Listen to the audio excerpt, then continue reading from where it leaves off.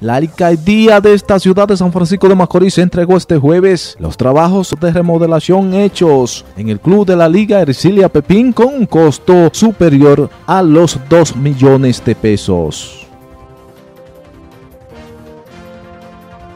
Primero, como funcionario del Ayuntamiento Municipal. Segundo, como directivo de esta institución deportiva.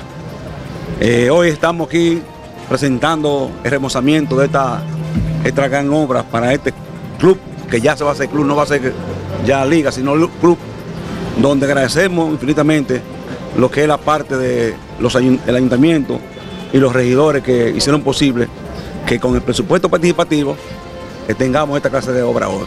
Un remozamiento bellísimo, donde hay una obra con criterio y donde la liga empieza, entiendo yo, a desarrollar su nuevo proyecto deportivo. Dentro de las eh, partidas ejecutadas tenemos lo que es el encementado del parqueo, tenemos lo que es el remozamiento del aire infantil, la construcción de los baños, la construcción de la ceja frontal y obras conexas.